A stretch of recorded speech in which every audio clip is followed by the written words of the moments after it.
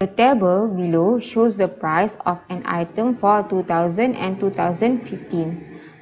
The rate of price increase from 2015 to 2020 is twice the rate of price increase from 2000 to 2015. Determine the price of item in 2020. So 2015 to 2020 and 2000 to 2015. So we should see what we have first. So we have 2000 and 2015. So in that, so we see here from 2000 to 2015 means uh, index of 2015 over 10 because based on 2000 is equal to P15 divided by price in 2010 times 100 so which is equal to price in 2015 is 10 divided by price in 2000 this is 2000 which is 8 times 100. So we get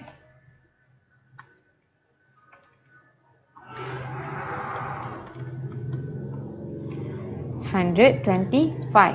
So you see here, this one one, hundred twenty-five mean the increase is twenty-five percent, and it's mentioned that the rate of increase of p thousand of 15 index in so 15 to 20 means 15 is the base 15 20 is equal to so this is 25 percent so double means increment by 50 percent or the index is 150 and you see here price in 2020 and we know index 2000 over 15 is equal to p20 divided by p15 times 100 so we have this one P15 we have and index you also have which is 150.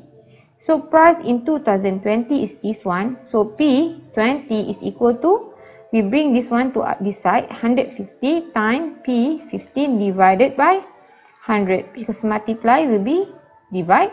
So 150 times price in 2015 is 10 divided by 100. So we 15. So the price in 2020 is equal to Rm 15 ringgit.